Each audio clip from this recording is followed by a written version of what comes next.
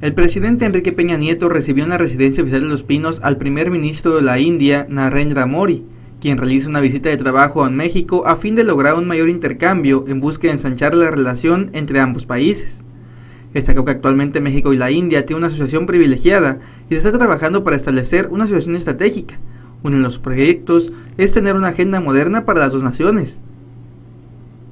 Dijo que ambos países acordaron impulsar la colaboración en diversos temas, entre los que destacan inversiones recíprocas como las de India en México en la industria cerera y farmacéutica, y las de México en India en salas de cine, alimentos y autopartes. Energías limpias, pues en 2015 la India y México ocuparon el quinto y noveno lugar respectivamente en inversión en energías renovables.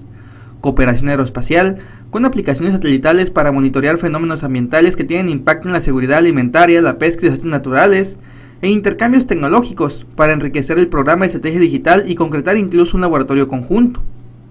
Para el seguimiento de esos acuerdos, este año tendrán lugar tres reuniones entre funcionarios del gobierno de la India y de México, en la reunión de encuentro del Grupo de Alto Nivel sobre Comercio, Inversión y Cooperación y la Comisión Binacional, precisamente para profundizar esta visión compartida que se ha tenido, además se fortalecerá la cooperación en foros regionales y multilaterales.